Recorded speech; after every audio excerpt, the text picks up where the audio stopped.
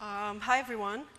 Uh, so I'm very happy here to be the happy occasion of the happy birthday for Avi. And this is, uh, I have a bunch of pictures of Avi, but that's the only one of the two of us together. It's from Heidelberg a few years ago. So um, I was actually a graduate student the same time that Avi was, but Avi was in Princeton, I was at Berkeley. I heard about him, but I, haven't, I didn't meet him. And by the time he came to Berkeley for postdoc, I went to MIT. So the first time that we really kind of uh, were in the same place and we got to know each other is when I went to uh, Hebrew University for a sabbatical in 1987. And I, uh, I was very excited about the sabbatical from per for personal reasons. I, I didn't live in Israel for five years at that point, and it was just for me a, a very it was a big thing to go to Israel, but I really never imagined that it was going to be also a great scientific uh, period. And that was really due to interactions with Avi. So I, I, came to Israel and I had lots of plans of things to do. And I, I was in Hebrew University also. But about, I think, the first week or so, um, Avi asked me a question that at that time a lot of people were asking after they proved that. Uh, NP0 knowledge if they're one-way functions, and these GMW, uh, Goldreich, Micali, Wigderson uh, protocols um, the, it was what else is there to do in cryptography? I mean, the field is over. And that was kind of a common question at that time. And, um, and you know, I was a little startled by this question. and usually I'm pretty good. I, the only time I, I, can actually think is when I'm threatened. Uh, so, so, it's like, ah, okay, uh, well, I said, maybe you don't need to make assumptions. Maybe you can change the model and impose some sort of physical conditions on it, and then we can get results without assumptions. And that was the case, and we had some nice very nice works together. I mean, I like them. Anyway, uh, so happy birthday. Ah, one last story, and that is then we became friends. But years later, I really started liking him. I mean, I liked him before, but this time it was, you know, it was going to really, it was very personal and significant. And that is that Avi came to visit us with his son, Yuval, and uh, Yuval was less than a year old. And my, I, had, I have a child around the same age, and he was extremely, my child, very anxious and very neurotic. And it was like, oh, what am I doing wrong? It's my parenting, you know, I'm not easygoing enough and so forth. But Avi's very easygoing. So he comes with this boy, and the boy is sitting on him, and he keeps on saying, bah, bah, bah, bah, bah, bah. So people, he would not, he was like the most anxious child you've ever seen. I'm like, oh, you know. it's, it's, I was, I was, I was really happy, and, and I was really kind of calmed down because it was clearly not me, you know. Um, but apparently since then he's really calmed down and he seems, he seems pretty reasonable now. Okay, so, and so has mine, by the way. So, uh, okay, so now I'd like, I guess that's it, and um, I'm going to tell you about uh, these new pseudo-deterministic algorithms, so uh, pseudo-deterministic algorithm is something that's been inter interested in me for the last few years, actually since a birthday to Lovász many years ago. Not many, but uh, was it a six? was it 60? Was it 60? It was 60 also? Okay, so it was a, while, a little while ago. what do you mean? Are you jealous because you couldn't uh, switch it? I'm going line by line. yes. Um, and this is joint work uh, with Ofer Grossman, who is, who's a student at MIT.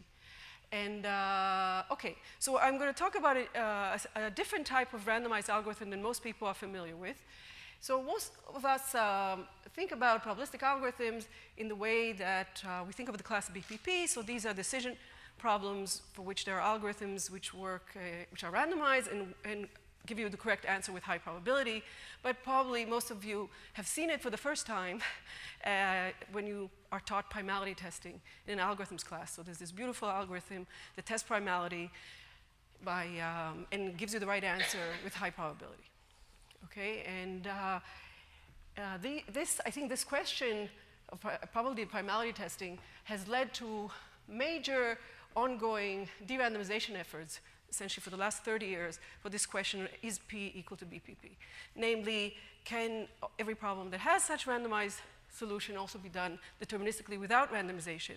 And Avi has been a major part of this revolution or uh, effort, and starting with his work with, uh, with Noam in 1984, and then the big breakthrough in, in, uh, with uh, Russell in, in 97, where they showed that the answer is yes if exponential time doesn't have small circuits. Um, so that's a question that people have been studying for a very long time. Since then, primality has been put in P, even though it's still our best example for probabilistic polynomial time algorithm. In fact, almost the only example, uh, natural example. So there is another one, which is polynomial identity testing. And um, these are sort of the, this is still the one that's there. And um, what I want to talk about today is a different kind of randomized algorithm. And in particular, I want to switch from decision problems and talk about search problems. So rather than testing whether a number is prime or not, I want you to think about a, a search uh, question, such as you have a graph, you want to find the minimum spanning tree, or maybe you have a size and you'd like to find a prime of that size. Okay, so we're actually searching for an object rather than deciding whether it has a property or not. And uh, when you think of these, there's lots and lots of problems. Actually, it can be formulated this way for which we have probabilistic solutions, but we don't have deterministic solutions, probabilistic that are correct with high probability. And here are a bunch of them, like finding a prime, finding generators for cyclic groups, uh, computing square roots mod p, computing q roots, finding points on elliptic curves. All of these, we don't know deterministic solutions, but we can do very easily with probabilistic algorithms. So we can find these objects. And uh, there are also basic steps in cryptographic constructions, and that's how we do it, right? We use probabilistic algorithms. And in fact, it's not just, probabilistic algorithms aren't just useful for solving sequential problems, but they're useful for parallel algorithms, in distributed computing, in sublinear algorithms that are very fundamentally important, and so forth. And the traditional goal in most of these, all of these subfields, is if we have a probabilistic solution, wouldn't it be, it's better to have deterministic ones, so we're trying to de-randomize, we're trying to find deterministic solutions for things we know how to do probabilistically. Now, in, for a lot of these questions, it's not that we don't have a deterministic solution, but maybe the probabilistic one works better. Maybe it's faster, maybe it's uh, efficient in some other, in other ways, much more than the deterministic ones. Maybe it has features that we like.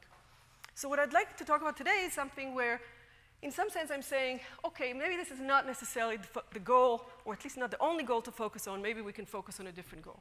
Somehow achieving what the deterministic solutions give me, but not necessarily finding a deterministic solution. Okay? So that leads us to think of what is it about deterministic versus probabilistic that really distinguishes them. So there's the running time, but usually they all run in polynomial time. There is the correctness, and deterministic will always be correct. With probabilistic, we'll say correct with high probability. Maybe that's also okay. There's one thing that's very different, and that is the deterministic solutions always give you the same output, okay, on the same input, because they're deterministic. But the probabilistic ones, especially for search, will might, may give you many different solutions per input, depending on the randomness used. So every time you run it again, with different randomness, a different solution can come up. So that's a very big difference in somehow which seems like a conceptual or inherent difference. That is that you cannot necessarily expect at all to get the same answer again. So what I'd like to do is to first of all uh, tell you that I think that unique answers, I mean everybody would, uh, or reproducible answers matter. So there is a difference here between deterministic and probabilistic that is of significance in several, in many settings. Uh, so here are just some sort of uh, settings where you could see why it would be better to always get the same answer rather get a completely different answer. And let's say if you're thinking about debugging or in a distributed setting where algorithms want to get the same answer without communicating to each other which randomness they used, and they would like to make sure that even though they're using an algorithm and, they don't, and it might be randomized, they'll get the same answer. Uh, checking correctness of the locating computation. So let's say I give a computer some my input and it's giving me back the answer, and uh, every time he runs a different randomness, it's going to give me a different answer. It's going to prove that one. It would be nice somehow if I knew it was the same one. I could maybe just give it to five different people if they gave me the same answer. I know it gives me some confidence that it's the right answer and so forth. And definitely for generating parameters for cryptographic system where you might suspect somebody's putting some trapdoor for you. And you would like to make sure that regardless of what randomness is always going to be the same output, and therefore they cannot cheat you in some way by using special randomness. So this leads us to talk about these algorithms that I'm talking about today, which are, have been around for a few years now. Uh, and they, these will be randomized algorithms, okay?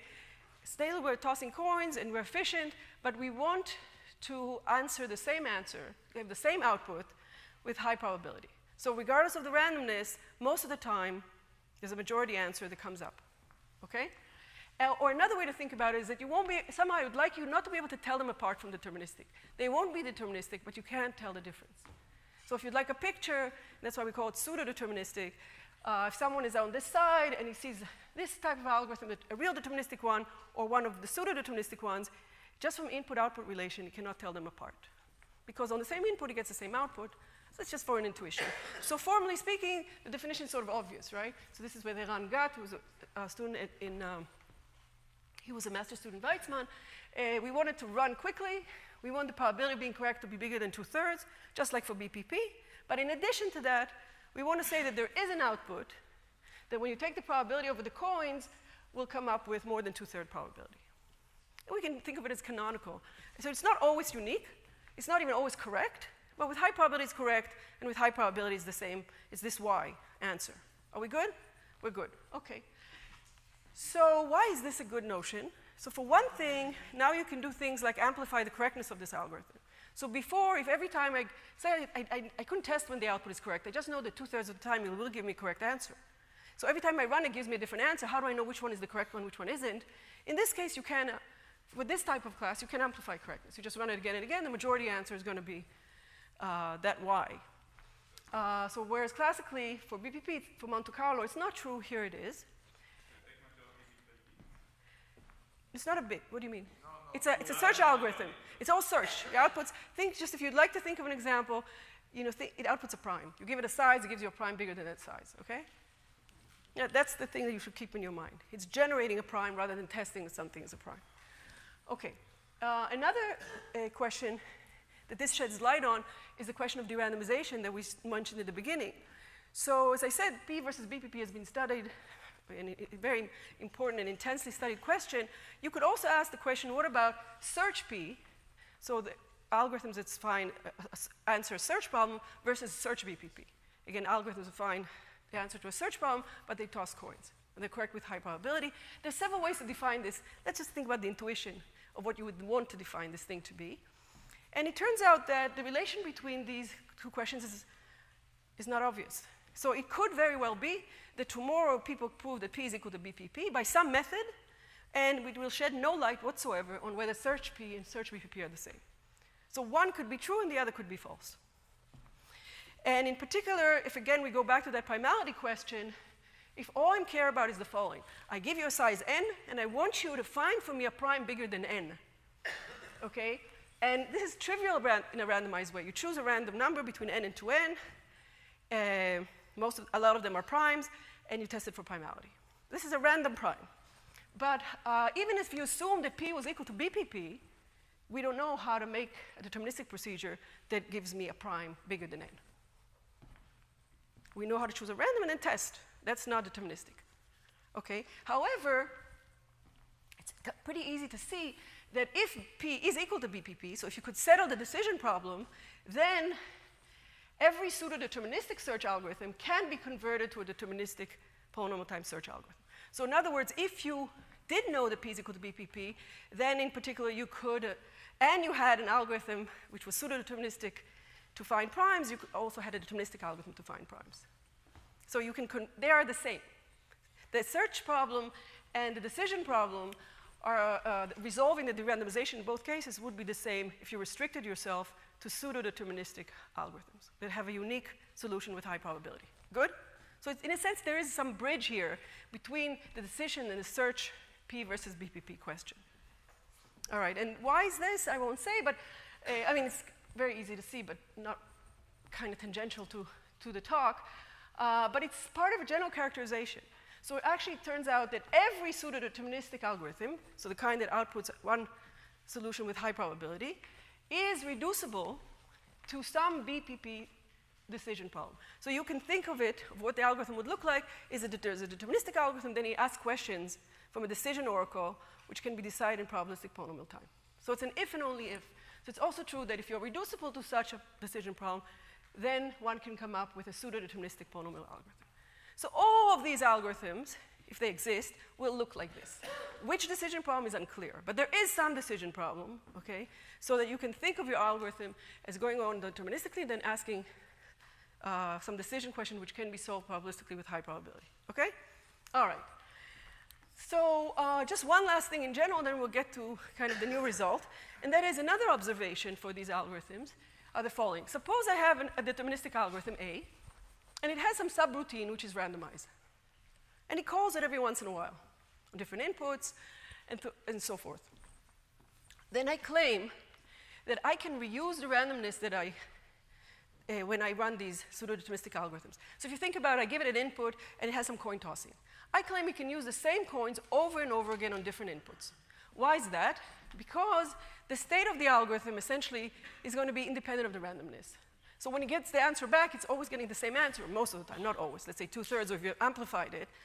And um, how, doesn't know, the answer doesn't encode the randomness that was used. So you can use that randomness again. That is not the case for general randomized algorithm. When you get the answer, if it's different answers for different randomness, you cannot claim that later on you're going to run it again, it's going to be independent from run to run.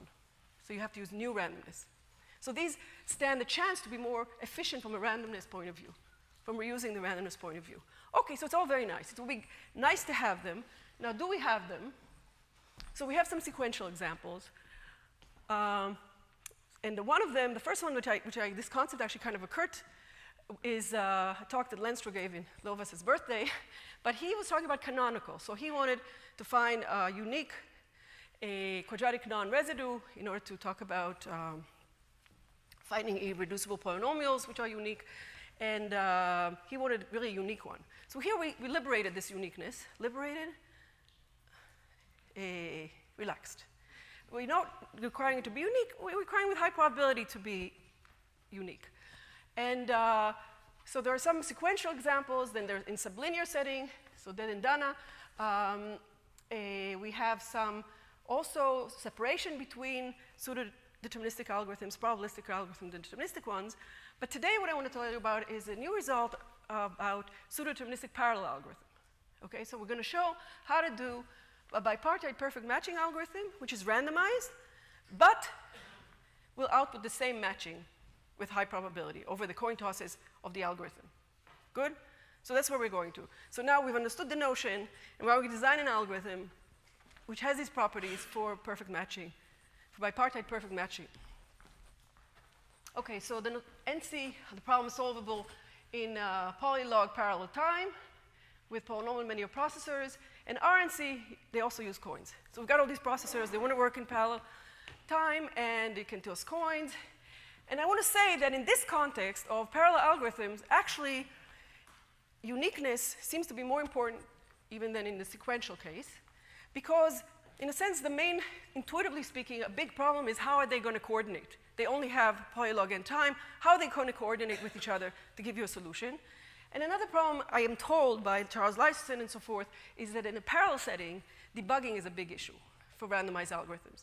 Because somehow, if you rerun it again, there's these things that happen, and you don't get the same results, even when you have the same randomness. I'm not sure I understand this completely. But um, in any case, in both, on both accounts, these should be easier, easier to coordinate, easier to debug if there was a unique solution with respect to which they are working, the processors. Okay? Or that you knew that every time you run it, the same solution would come up, then at least if there was, you know, there was some sort of consistency while you're trying to debug these. Okay. So the problem that we will attack is matching.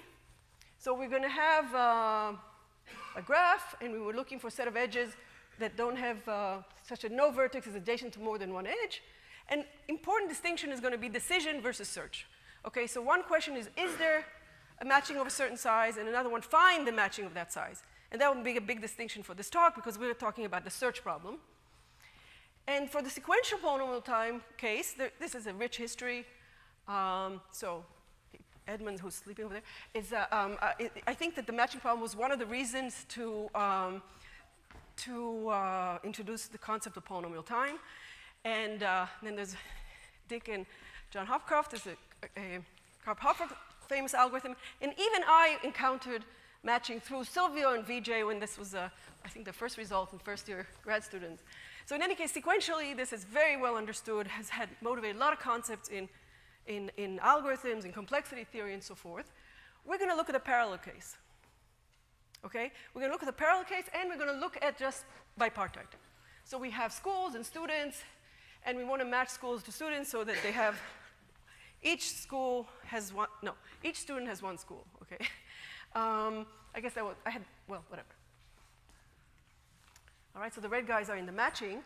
And just as matching had a lot, it had a lot of influence in the sequential case, it actually had, uh, no, we skipped something. Oh, maybe in a minute. It, uh, okay, so let's talk about bipartite matching for a second. Also here we can talk about decision versus search. So if we think about decision, it has a beautiful, whereas the, in the sequential case, the algorithms are you know, very graph theoretical, very combinatorial. When we go to the parallel world, they're randomized, they're algebraic in nature. So if we think about this simple graph here, um, and we, there's a, a, matrix, which is a simplified version of the Tutte matrix, which uh, is analogous to what happens in this graph, where we put a variable if there is an edge between two nodes, and we put zero if there isn't one. And it turns out that the determinant of that matrix corresponds to the matching, perfect matchings in that graph. So in other words, for example, this matching that I have there is exactly between 3 and 2, 2 and 3, and 1 and 1. So this is this non-zero term here.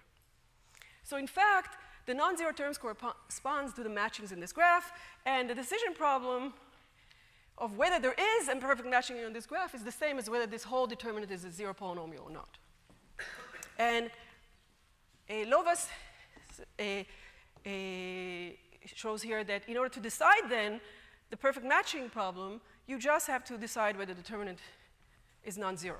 So you have a probabilistic procedure to do so, and one can do this in parallel.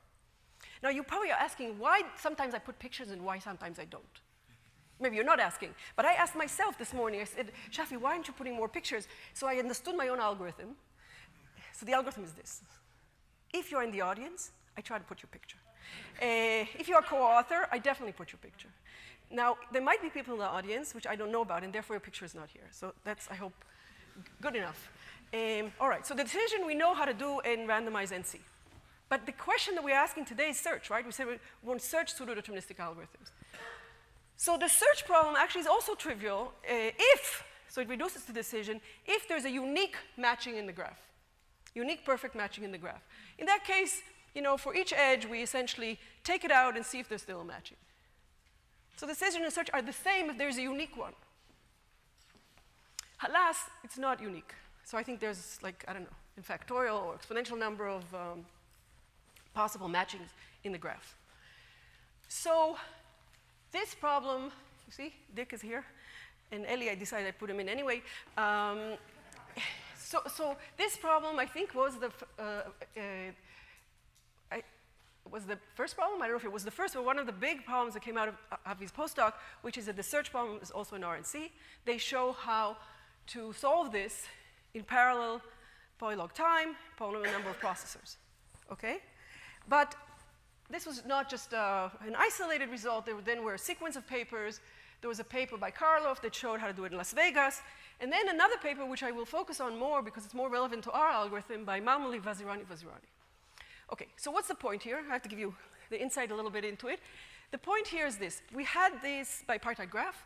There's exponential number matching, say, and we know it's easy if it was unique. Okay, so somehow in this work, they want to sort of make it unique. How do they do that? They say, well, let's isolate a special matching. It's not, there are many, but I want to look at one.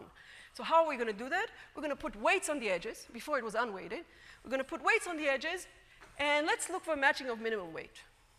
And they make two points. One is, if the weight assignment that you gave induces a unique minimum weight matching, then they show how to find it. Okay, so it's a randomized procedure that shows how to find that unique one, if it is unique. And secondly, and I think this is what this famous, this paper is just, it's very elegant and, and very well known for something called the isolation lemma, where they show how to make the weight assignment such that it will be unique. And then you can find it by the previous step. So how do you make it unique? If you choose the weights of each edge at random from the set of one through number of edges, uh, squared, I guess, then with high probability, there will be unique minimum weight matching. Okay? And then we're done. Because you just choose the weights at random and then you find it. Done. Okay. I said the word unique many times on this slide. The thing is, it's unique per the randomness, not per the graph. So for different weight assignments, there'll be a different unique one. What I want is that on the same graph, same uh, matching for my pseudo-deterministic randomized algorithm. All right? And that's what we want to do. Okay, but just as a review as a history, really since that paper, I think that most of the works that are trying to take the randomized NC algorithm that exists and make it deterministic NC, so finding matching in graphs by a deterministic algorithm in parallel, they work by trying to de-randomize the isolation lemma. So there's some ways to take that beautifully simple idea that works and find that weight assignment not at random but by deterministically that isolates, I'm okay? That isolates the matching. Um, what? Okay, okay. uh, I don't know, maybe starting, no, no. Uh, so there's all these cases, and then there was a paper that was just uh, recently, beautiful in the last talk, I think it was presented, uh, where they show a quasi-deterministic NC algorithm, which essentially de-randomizes the isolation lemma and solves bipartite perfect matching deterministically, but uses more than polynomial number of processors. Okay? So what I'll show you today is that by using uh, an idea here, we, and more, we don't, we have another algorithm which doesn't de-randomize. It's randomized, but it unifies, okay, the, um, the matching in, uh, in RNC. So I say, you know what? Let's say there is randomness, but we want to get a unique solution, and that's what we will do. Okay, so uh, here's the idea of the algorithm. Step one, so it's sort of an overview. So we will still construct weight assignments for the edges, and that will be done deterministically. So there will be some way, which I'll mention in a few slides, how to label the weights in a deterministic way. But once we have them, okay, the, the new step, in a sense, I mean, the weight assignment is also different than what they did in the previous paper, but conceptually, kind of big new step is that now we will give a procedure for finding the union of all these minimal matchings with respect to this weight assignment. So there might be many, nor more than one. I just want to find the union of them. What does the union mean here? Think about it that I throw away all the edges that didn't participate in any minimum weight matching. So the new graph is smaller. So I'm, I'm going to find this union. It's going to be, it's one, the old graph deleted a bunch of stuff, and then I'll repeat. And again, I'll throw away a bunch of stuff. The idea being is I, I throw away, throw away, throw away. Now the graph is going to be so simple that it'll be clear that deterministically how to find a matching, and then we'll, we'll go back.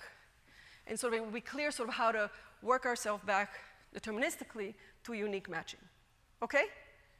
All right, so note here, this is a randomized algorithm because this step is randomized, but it will be pseudo-deterministic.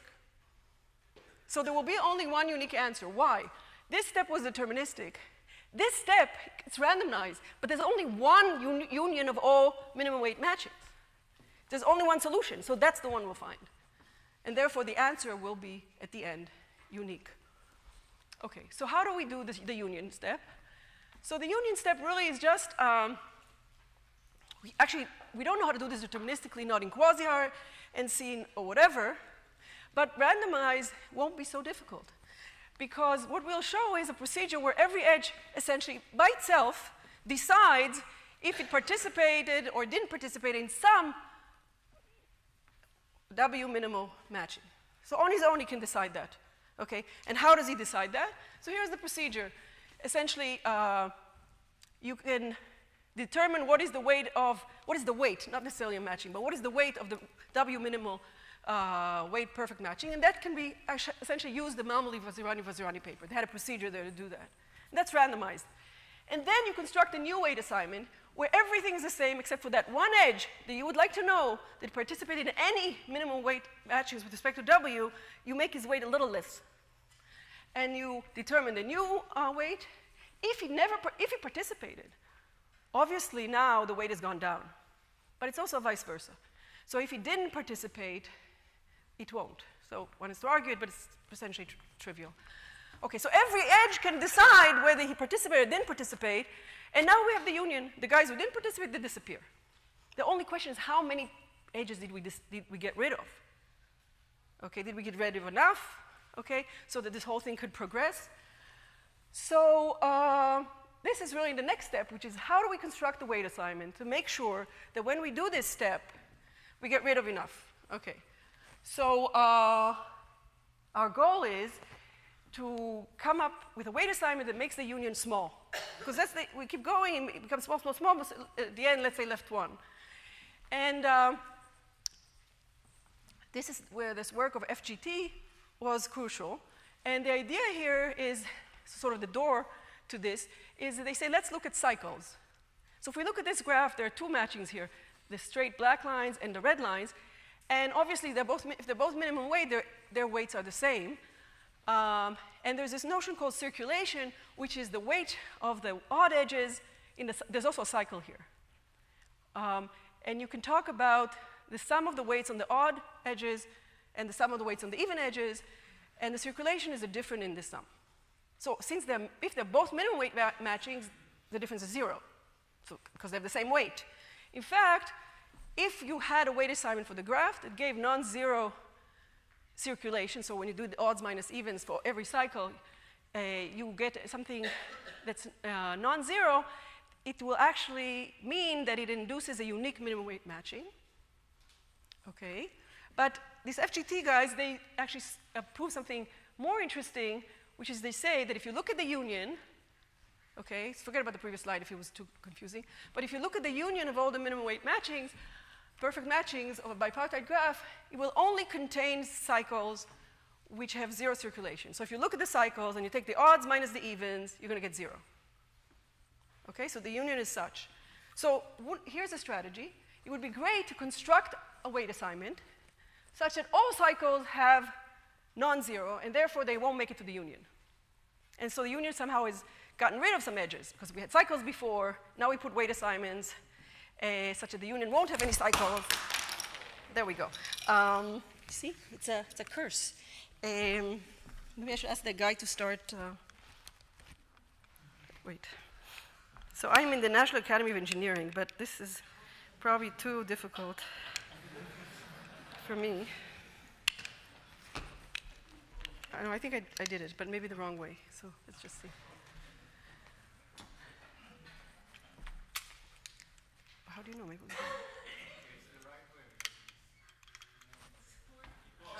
Hey. they were just, they were a little loose, that's why I popped them back out. Okay. Okay, there you go. Should be good to go. Okay, thanks. Okay, so it would be great if we could. It's not me, as they say. Uh, here. Okay, so uh, it would be great to come up with a W. Oh, wonderful. So it would be great to come up with a weight assignment so all cycles will be non-zero, and then they won't make it to the union, and we're good. But we can't do that.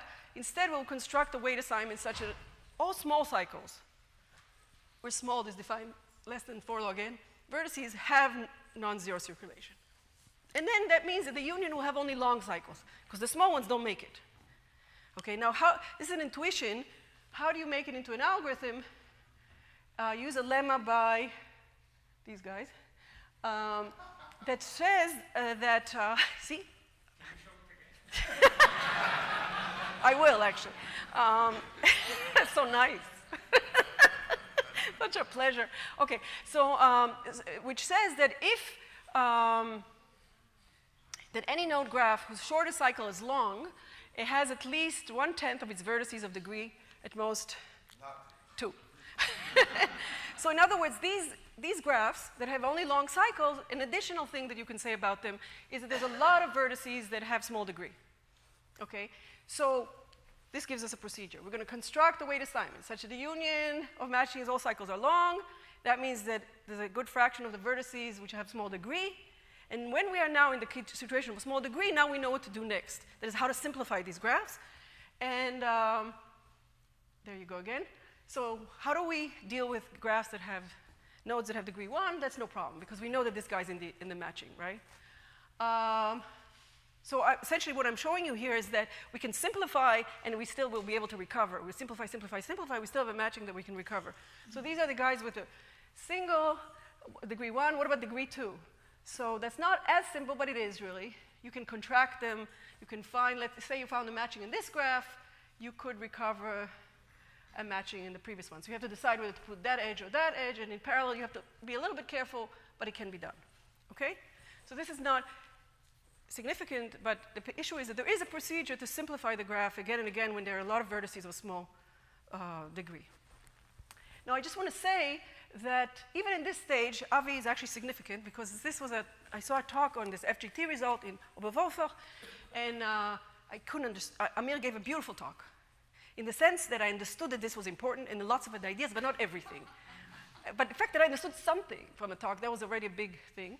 In any case, then I took a train with Anoop, and he explained to me one of the, a simpler proof that was uh, apparently thought of by Amir, Avi, and Anoop. So thank you, and I won't go through it. I just want to say that Avi had something to do with it. okay, so in any case, I still didn't tell you the important part, which is what about what weight assignment? There has to be a weight assignment for which it's true that, um, that all small cycles have non-zero circulation, right? So we can get rid of them. And this is the weight assignment. Uh, which is essentially to take the name of the edge, which goes from 1 up to length, the number of edges, to the power k. So what do I mean by power k? There won't be a single weight assignment. There'll be a sequence of them. So there'll be, the first one just gives a, the weights to be just the name of the edges, the second one squared of it, cube, and so forth. We do this log n times. And the guarantee is going to be that one can prove is that the cycle, um, there, this, as, any cycle small cycle of length less than 4 log n can't have zero circulation with respect to all these weight functions. Okay, so it can't be. So if we did this union with respect to each weight assignment, one after the other, one of them is going to kill every cycle, small cycle. So eventually all small cycles will be killed. And essentially to prove that is just sort of an algebraic thing. Like you think about the cycle, then the condition of having uh, zero circulation meant that the sum of the even costs and the sum of the odd costs are the same. So this equation has to hold for all these powers of k, because we try each weight assignment at a time, and he won't be able to. There will be a violation just by algebraic counting. Okay, so we, we're done. We create these weights. Um, that kills all the small cycles. We construct the union each time, and, the, and it's getting small and small. We contract, we repeat, and then we get to a constant size, we have a, a, matching we can build up again. So it's clear why it's correct, because when we do the union, there's always some perfect matching there. Okay, we haven't gotten rid of it, and when we contract it, we know how to go back. It's randomized, it's in NC, and it's pseudo-deterministic because the union is one. Okay. Now, what about randomness, by the way? How much randomness are we using here? So as I said, we can reuse randomness. Okay, so if we wanted to amplify this, we could reuse it again with the same randomness. Uh, so what are some corollaries? So if tomorrow somebody shows that NC is equal to RNC, then also finding a bipartite perfect matching can be done in NC because of this relationship between decision and search for pseudo-deterministic algorithms. Right? So if it's pseudo-deterministic, it's actually deterministic if the decision problem. By the way, we did reduce to a decision problem here. What was the decision problem? Is for an edge to decide if it was in a, any minimum weight matching or not. Okay, so if that could be done in NC, the whole thing is in NC. And there are some other problems which have been shown previously to be equivalent essentially to this matching problem, and any one of these can use this and get a pseudo-deterministic algorithm. Uh, how much time do I have? None?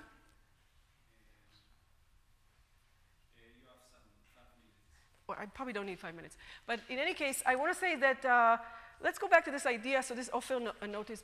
Ah! I seriously didn't do anything. I mean, how could I have? Uh, hmm. okay, so magical. A